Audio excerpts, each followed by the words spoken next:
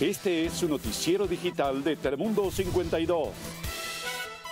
¿Qué tal? Bienvenidos a esta edición de Noticiero Digital de Telemundo 52. Con mucho gusto les saluda Grecia Carrillo. Y también Sandra Unido. Qué bueno que nos acompaña. Estas son las noticias para hoy, martes 14 de mayo.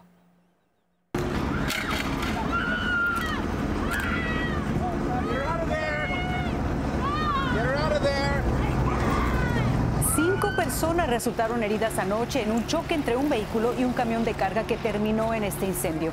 En estas impresionantes imágenes se ve como una mujer tuvo que ser arrastrada por los oficiales y puesta a salvo. Ella y otras tres personas fueron llevadas a un hospital, una quinta no fue hospitalizada. El incidente ocurrió en los carriles con dirección norte del 710, cerca de la salida en la calle Anaheim, y una persecución policial estuvo involucrada en este accidente.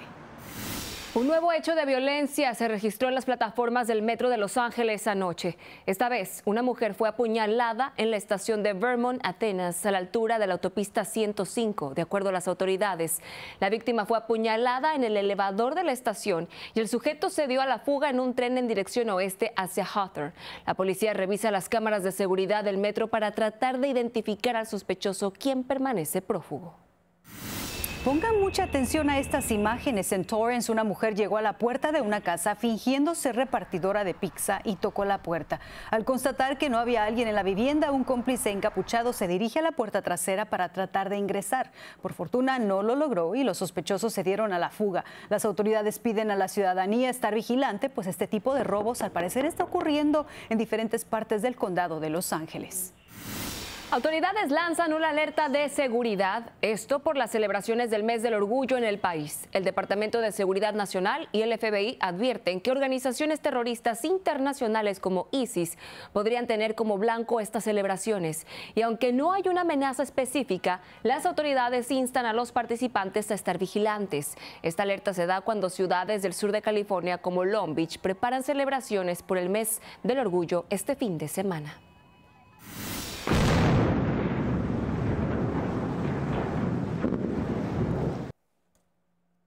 Con explosiones como esta, las autoridades en Maryland se acercan a una reapertura del puerto de Baltimore. Ayer fueron colocadas 50 cargas explosivas en diferentes ranuras de este fragmento del puente para una demolición controlada.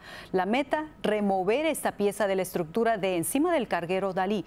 El barco podría estar en el puerto el día de mañana y expertos estiman que la remoción de escombros podría tardar hasta seis semanas para luego ser llevado al puerto de Norfolk en Virginia, donde será reparado. El expresidente Donald Trump está de vuelta en la corte esta mañana para su juicio de dinero por silencio, esto en Manhattan. Trump se ha declarado inocente de 34 cargos de falsificación de registros comerciales. Los cargos están relacionados con presuntos pagos a Stormy Daniels en el periodo previo a las elecciones del 2016. Hoy, nuevamente, su ex abogado Michael Cohen está en el estrado. Varios también prominentes funcionarios electos del Partido Republicano han viajado a Nueva York como muestra de solidaridad con Trump. Antes de ingresar a la corte esta mañana, Trump calificó el caso como una estafa y citó interferencia electoral a un nivel que nunca antes había ocurrido, según sus palabras. Usando gas pimienta y lanzando fuertes advertencias, autoridades de Texas lograron hacer retroceder a un grupo de migrantes que intentaba vulnerar una barrera que ha sido colocada por la Guardia Nacional de Texas en la frontera con Ciudad Juárez. Los momentos de tensión se vivieron ayer lunes. Los agentes federales lanzaron varias granadas con gas pimienta para disuadir de sus intenciones a decenas de migrantes que buscaban ingresar al país de forma no autorizada. La Guardia Costera de Estados Unidos rescató a tres personas y un perrito después de que su bote volcara en la costa de Florida. Los funcionarios recibieron una llamada de auxilio alrededor de las cinco y media de la mañana de tres personas que informaron que su embarcación de 47 pies se estaba hundiendo a 35 millas al oeste de Clearwater. Los ocupantes del barco trataron de impedir la entrada del agua colocando un colchón en una ventana que estaba rota. Los efectivos de la Guardia Costera pudieron rescatar a las víctimas antes de las 7 de la mañana. Un hombre sospechoso de matar a tres miembros de su familia en el Día de las Madres en Mississippi murió a manos de la policía en Arizona. Ivory James Welsh III era buscado en relación con la muerte de su madre y sus dos hermanas en Richland, Mississippi. Después de huir de la escena, la policía comenzó a rastrear el teléfono celular del sospechoso hasta Arizona. Su vehículo fue localizado en la ruta 191 entre Morenci y Clifton y según las autoridades, Welsh salió del auto, mostró un arma y fue entonces cuando los oficiales le quitaron la vida. Una denuncia anónima llevó a las autoridades del condado de Bexar, en San Antonio, Texas, al decomiso de 200 gallos que eran utilizados para peleas. Paul Junior Morales, de 48 años, fue arrestado por organizar actividades clandestinas por estas peleas de gallos. Alrededor de 48 personas fueron detenidas y multadas por participar en un evento ilegal. Se cree que el sospechoso se encontraba rentando la propiedad donde llevaba a cabo las peleas de gallos y a la hora de su arresto Morales se encontraba armado. Las autoridades también decomisaron múltiples armas en la propiedad. Productos químicos peligrosos se derramaron en Criolla, Alabama, según funcionarios del condado de Mobile ácido nítrico de un camión cisterna quedó sobre el suelo de una transitada avenida. Este puede causar irritación de los ojos y la piel y en casos graves la exposición puede causar ceguera y daño ocular permanente. Las autoridades emitieron orden de permanecer en casa en dos millas a la redonda y el derrame provocó el cierre al tránsito de la autopista 43. También confirmaron que el conductor, otras dos personas en el lugar y un socorrista fueron hospitalizados. Se desconoce su condición. Esta mañana la crisis humanitaria en Gaza está empeorando. A medida que se intensifican los combates, Israel insiste en su operación en la ciudad de Rafah. De acuerdo con la ONU, más de 450 mil palestinos ya se han ido y el éxodo continúa tomando fuerza. El presidente Biden ha advertido a Israel que no invada debido al riesgo de víctimas civiles. Mientras tanto, Israel dice que Hamas tiene cuatro batallones de combatientes en Rafah e insiste en que entrar en la ciudad es la única forma de desalojarlos. Por su parte, el Departamento de Estado reporta estar al tanto de un grupo de médicos norteamericanos que están atrapados en el cruce fronterizo de Rafah con Egipto. Al menos 14 personas murieron y decenas resultaron heridas después de que una valla publicitaria cayera sobre ellas en India. El incidente ocurrió durante una tormenta eléctrica en la capital financiera de la India, Mumbai. Los rescatistas están trabajando para retirar los escombros del lugar ya que se teme que haya decenas de personas atrapadas. Se cree que el anuncio publicitario era más grande que una piscina olímpica, imagínese eso, y se derrumbó sobre algunas casas y una estación de servicio junto a una carretera muy transitada. Las autoridades dicen que la publicidad no tenía el tamaño permitido y que la agencia que la colocó no tenía permiso. En noticias de nuestro continente, en Argentina los precios de bienes y servicios siguen subiendo a pesar de algunos signos de desaceleración y la tasa de inflación anual del país sudamericano se acercará al 300% cuando el gobierno revele los últimos datos.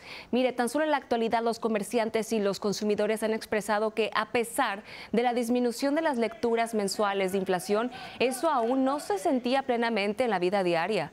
Los jubilados y trabajadores públicos están entre los sectores de la población más afectados. Las devastadoras y continuas inundaciones en el sur de Brasil están obligando a algunos de los medio millón de residentes desplazados a considerar la posibilidad de irse de las ciudades inundadas para establecerse en terrenos más altos. Con cientos de miles de familias huyendo de las inundaciones, el desastre que ha cobrado la vida de al menos 147 personas podría desencadenar uno de los mayores casos de migración climática de Brasil en la historia reciente.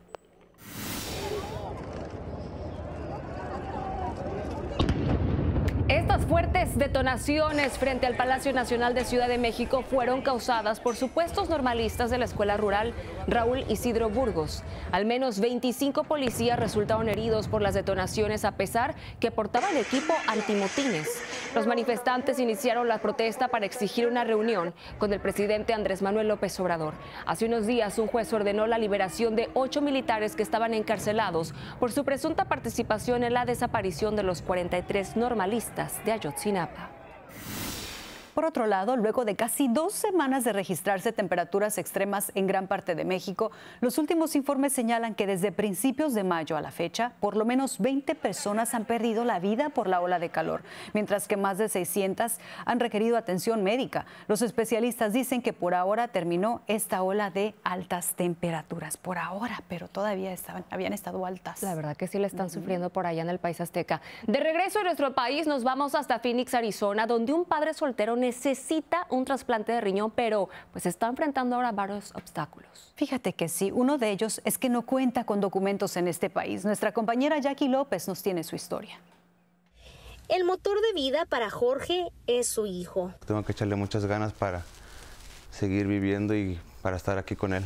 A 29 años de edad, Jorge padece insuficiencia renal. Ya no tienen función mis riñones. Eh, poco a poco fueron fallando. Su enfermedad fue diagnosticada hace tres años. Tenía mucho dolor de espalda en la parte de abajo. Al poco tiempo de su diagnóstico, Jorge comenzó su tratamiento de diálisis, el cual recibe tres veces por semana. Tenemos que artificialmente limpiar la sangre porque ya nuestro cuerpo no lo hace a través de nuestros riñones. Jorge tenía la esperanza de ser candidato a recibir un trasplante, pero lamentablemente esto no le es posible. Pero como se dieron cuenta que no era, que no tenía un seguro por no ser ciudadano, no me dijeron que no me iban a poner en la lista, ya no me hablaron nada del trasplante. Jorge es indocumentado y tiene seguro médico de emergencia a través del programa estatal Access, el cual solo cubre su diálisis pero no su trasplante.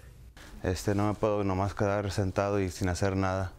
Por lo mismo, él y su familia han buscado opciones que le permitan realizarse el trasplante que le daría una mejor calidad de vida. Y sabiendo que no, no tenemos recursos para poder ah, tener una, una operación. Y aunque algunas clínicas cuentan con programas de asistencia financiera, la solicitud y el proceso son largos.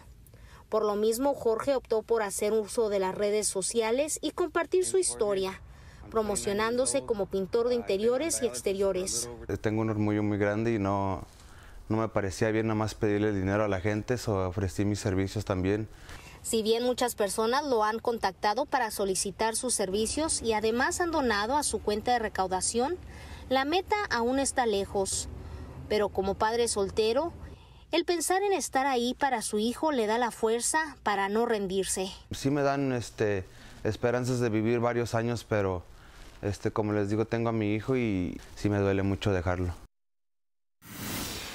Siguiendo con más información, estas son nuevas imágenes captadas por una cámara de seguridad del choque mortal que ocurrió el fin de semana en Pasadena. Miren, en ella se puede observar claramente el exceso de velocidad al que se desplazaba el vehículo antes de impactarse contra un edificio.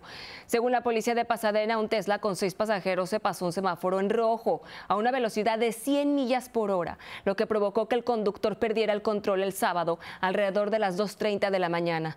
El vehículo chocó contra la banqueta antes de estrellarse contra el edificio, expulsando a tres ocupantes, los cuales perdieron la vida, mientras que otros tres que iban también en el automóvil resultaron heridos.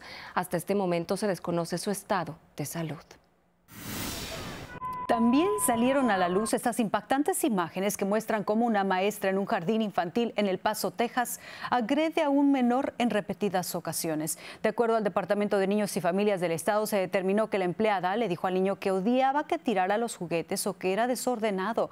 Por su parte, la escuela STEAM Preschool no ha respondido hasta el momento a la solicitud de una declaración por parte de Telemundo. Y mira, ahora hablemos de la realeza, porque los duques de Sussex realizaron una visita privada de tres días a Nigeria. Meghan Markle llegó como duquesa y abandonó el continente africano como princesa. Y es que las autoridades no escatimaron en detalles y realizaron una ceremonia que normalmente se hace para las giras reales. Les colocaron una alfombra roja completa con bailarines culturales y otros protocolos. La pareja había sido invitada por un jefe militar en la nación de África Occidental y luego Meghan también pues, se dio el tiempo para firmar incluso un libro de visitas.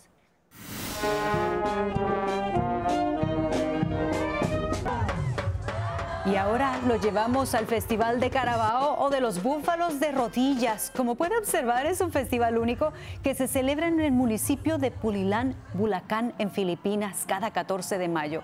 Incluso las provincias cercanas participan en esta celebración de dos días para unirse a la alegría y al desfile de carros muy bien decorados. Y ahí vemos también, pues, los bueyes que los llevan, ¿verdad? Oye, sí, qué interesante. Fíjate que estos propietarios hacen que los carabaos se arrodillen como lo veíamos en las imágenes frente a la iglesia parroquial de San Isidro Labrador como señal de agradecimiento y honor al patrón de los agricultores, agricultores por una cosecha abundante. Los búfalos son entrenados desde pequeñitos por sus dueños para que se puedan arrodillar. Qué interesante, mira cómo él. Sí, es que cómo lo pueden lograr, ¿verdad? Los entrenan bastante bien. Mm, muy, pero muy interesantes esas tradiciones que le presentamos aquí en Telemundo 52 y que usted puede seguir viendo si se inscribe a nuestro canal de YouTube. Claro que sí, para que nos busque, ya lo sabe, Telemundo 52, ahí también para que usted lo siga, no se suscriba, le dé like y active también esa campanita para que así le lleguen pues diariamente las notificaciones. Ahí lo tiene. Hasta la próxima.